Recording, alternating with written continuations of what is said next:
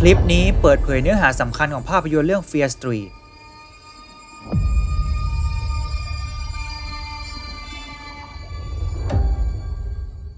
It began as a prank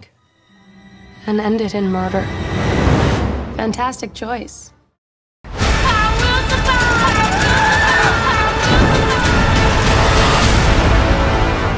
Fear Street เรื่องราวสุดสยอง บนถนนเส้นหนึ่งของเมืองสมมุติ นามว่า Shady Side เมืองที่ได้ขึ้นชื่อว่าเป็นเมืองหลวงแห่งฆาตกร เพราะในแทบจะทุก 10 ปี Shady Side จะมีฆาตกรสุดโหดกำเนิดเกิดขึ้น และเที่ยวไล่ฆ่าคนในเมืองอย่างไม่ลดละ จนผู้คนในเมืองนี้ต้องอาศัยอยู่ภายใต้ความหวาดกลัวและมีชีวิตสุดแสนลำเค็ญซึ่งเรื่องราวความสยองที่เกิดขึ้นทั้งหมดในเชดี้ไซนั้น มีต้นกำเนิดมาจากอาถรรพ์ของซาร่าเฟีย แม่มดที่เคยถูกแขวนคอตายในสถานที่แห่งนี้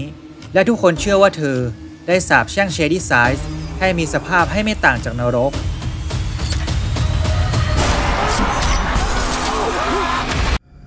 และถ้าหากใครก็ตามที่ได้ชมภาพยนตร์เรื่องนี้จบลงแล้ว ก็จะพบว่า Fear Street นั้น มีการหยิบยกเอาสูตร และเอลเมนต์ของหนังสยองขวัญในยุคต่างๆ มาใส่ และใช้กันอย่างมันมือ รวมไปถึงยังมี Easter egg อีกมากมายหลากหลาย ที่รอให้พวกเรามาค้นพบ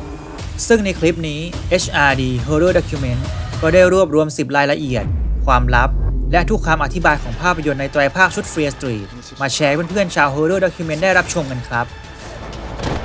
I will curse this town forever.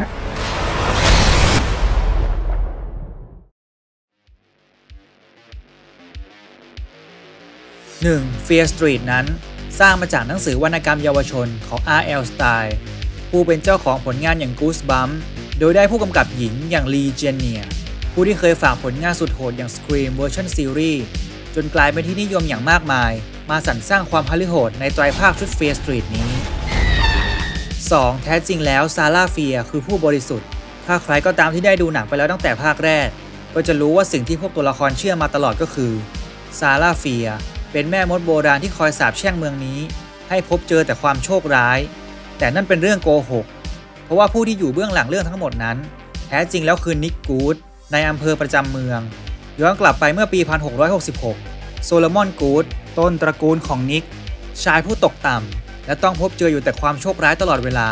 เขารับรู้ถึงการมีอยู่ของคัมภีร์ที่จะสามารถอัญเชิญปีศาจออกมาได้ เขาจึงได้ทำการอัญเชิญเหล่าปีศาจและซาตานออกมา เพื่อแลกกับความสำเร็จ ความมั่งคั่ง และอำนาจของตระกูลกูด โดยมีสิ่งแลกเปลี่ยนก็คือต้องสั่งเวยหนึ่งในวิญญาณของชาวเมืองเชดี้ไซส์ให้แก่ซาตานเป็นประจำ เพื่อให้ซาตานนั้นเข้าสิง ก่อนที่มันจะสามารถบงการให้คนคนนั้น เที่ยวไล่ฆ่าคนอื่นได้ และซาร่าเฟียก็รับรู้ถึงความลับนั้น แต่เธอก็ถูกโซโลมอนใส่ร้ายว่าเป็นแม่มด และยังเป็นต้นเหตุที่ทำให้เมืองนี้ต้องคำสาป สุดท้ายเธอจึงโดนแขวนคอ และถูกเชื่ออย่างผิดๆมาโดยตลอด ตระกูล Goode ได้สังเวยวิญญาณของชาวเมืองเพื่อซาตานมาโดยตลอด รุ่นแล้วรุ่นเล่า เพื่อคงไว้ซึ่งอำนาจของตน นั่นเองเป็นเหตุผลว่าทำไม Shadyside นั้น ถึงเป็นสถานที่ที่เลวร้าย มีฆาตกรและฆาตกรรมเกิดขึ้นอยู่บ่อยครั้ง ผู้คนในเมืองมีแต่ชีวิตที่ย่ำแย่ลง แตกต่างจากซันนี่เวลเมืองที่เป็นพื้นที่ที่ตระกูลกู๊ดนั้นอาศัยอยู่ ที่ผู้คนในเมืองแห่งนั้นนั้นล้วนแต่ประสบความสำเร็จมั่งคั่งและมีอำนาจ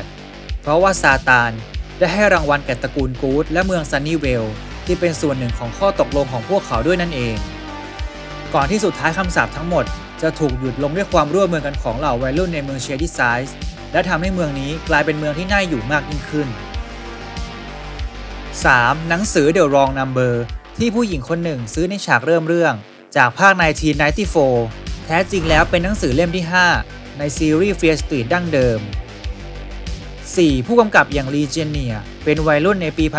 1994 เลยทำให้เธอนั้นสามารถดึงเอาประสบการณ์ส่วนตัวของเธอ มาเป็นแรงบันดาลใจในการสร้างภาค1994ได้อย่างดีเยี่ยม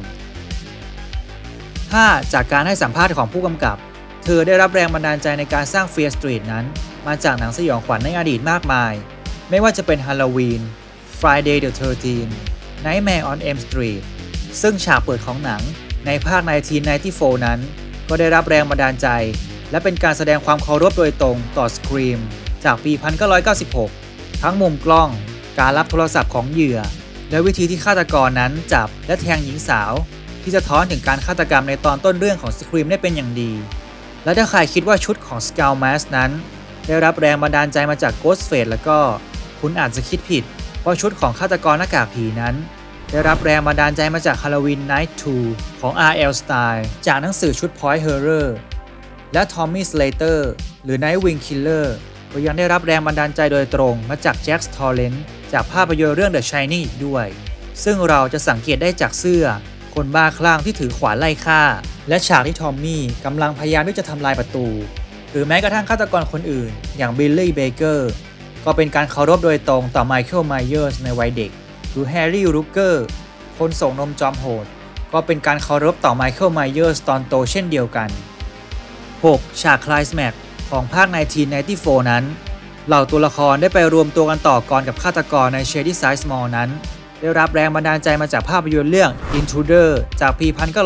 1989 ที่เคสนั้นจะถูกฆ่าโดยเครื่องเลื่อยขนมปัง ซึ่งฝ่ายศิลป์ของหนัง ก็ได้พยายามเกลี้ยกล่อมผู้กำกับอยู่นาน ว่าหัวมนุษย์นั้นมันไม่สามารถผ่านเครื่องตัดขนมปังไปได้ แต่เธอก็ยืนกลานที่จะทำเช่นนั้น พวกทีมงานเลยไปลองซื้อแตงโม และเอามาใส่เครื่องเลื่อยขนมปังให้เธอดู เพื่อบอกว่าเธอนั้นคิดผิด แต่ทว่าผลที่ออกมานั้นมันดีเกินคาด ส่งผลให้เฟรียสตรีทนั้น มีฉากฆ่าด้วยเลื่อยขนมปังสุดฮัลลิโหดนั่นเอง 7. แม้ว่าภาค 1978 จะเป็นเรื่องที่ 2 ของไตรภาค แต่แท้จริงแล้วภาคนี้ถูกถ่ายทำเป็นหนังภาคสุดท้ายของชุดเลย 8. Camp Night Wing เป็นการอ้างอิงถึงฉากจากหนังสือเรื่อง Lights Out ของหนังสือชุด Fear Street ซึ่งสถานที่ที่ใช้ถ่ายทำก็เป็นสถานที่เดียวกันกับที่ใช้ถ่ายทำภาพยนตร์เรื่อง Friday the 13th Part 6 จากปี 1986 อีกด้วย 9. R.L. Style ได้เข้าไปเยี่ยมกองถ่าย ระหว่างการถ่ายทำภาค 1666 และงานสร้างฉากของหนังภาคนี้ ก็ได้รับแรงบันดาลใจมาจากภาพยนตร์เรื่อง The New World จากปี 2005 อีกด้วย 10. ถ้าอ้างอิงตามหนังสือชุด Fear Street ของ R.L. Style นั้น แท้จริงแล้วเรื่องราวชวนหดหู่ที่เกิดขึ้นใน Shady Side นั้นกำเนิดขึ้นมาจากความบาดหมางของสองตระกูล ระหว่างตระกูลกูดและตระกูลเฟียมีที่มาอย่างยาวนานหลายร้อยปี ที่มาของคำสาปแห่งตระกูลเฟียนั้น เริ่มต้นขึ้นในช่วงปี 1600 ในช่วงของการตามล่าหาแม่มด เบนจามินและแมทธิวเฟียได้ให้ร้ายและทำการเผาซูซานนากูดและแม่ของเธอ เพื่อเป็นการพยายามกันซูซานนา ให้ห่างจากเอ็ดเวิร์ดลูกชายของเบนจามิน แต่ทว่าพ่อของซูซานที่เป็นผู้ใช้มนต์ดำตัวจริง ก็ได้ทำการสาบแช่งตระกูล Fier และนับตั้งแต่นั้นเป็นต้นมา เรื่องราวการล้างแค้นของสองตระกูลนี้ ก็ได้ดำเนินต่อไปเรื่อยๆ และส่งผลกระทบออกไปทั่วทั้งเมือง ซึ่งว่ากันว่าคำสาปของสองตระกูลนี้ สามารถถูกทำลายได้ ด้วยการแต่งงานระหว่างของสองตระกูล และในปี 1990 แดเนียลเฟียและนอร่ากูด ทายาทของสองครอบครัวต้องคำสาปก็ได้หลงรักและตกลงแต่งงานกัน เพื่อพยายามยุติความบาดหมาง และคำสาปของตระกูลของพวกเขา แต่ทว่ามันก็ไม่ได้จบลงด้วยดีเท่าไหร่ ตัวเอกของหนังสือแต่ละเล่มมักจะเป็นวัยรุ่นที่โดนคำสาปหรือไม่ก็เข้าไปเกี่ยวข้องกับตระกูลเฟีย และพวกเขาก็ต้องจัดการกับภัยคุกคาม ที่มาทั้งในแบบเหนือธรรมชาติ หรือฆาตกรมนุษย์ปกติเดินดินทั่วไป และเนื่องจากเรื่องราวในหนังสือนั้นเกิดขึ้นในเมืองเดียวกัน จึงไม่ใช่เรื่องแปลกที่ตัวละครจากหนังสือเล่มหนึ่ง จะถูกกล่าวถึง รวมไปถึงส่งต่อเรื่องราวให้ตัวละครอื่นในเล่มถัดไป และก่อนที่จะลาจากกันไป ช่วยตอบพวกเราหน่อยครับว่า ในช่วงเครดิตนั้น คิดว่าใครคือคนที่แอบหยิบตำราอัญเชิญปีศาจเล่มนั้นไป แล้วถ้าหากใครชื่นชอบหนังและตัวละครสยองขวัญก็อย่าลืมกดแชร์ กดไลค์และกดปุ่ม subscribe พร้อมกับกดกระดิ่งแจ้งเตือน เพราะเราไม่อยากให้ทุกคนพลาดหลากหลายเรื่องราวจากหนังสยองขวัญที่จะมีมาอีกในอนาคต กับ Horror Document สารานุกรมสำหรับคนรักหนังสยองขวัญ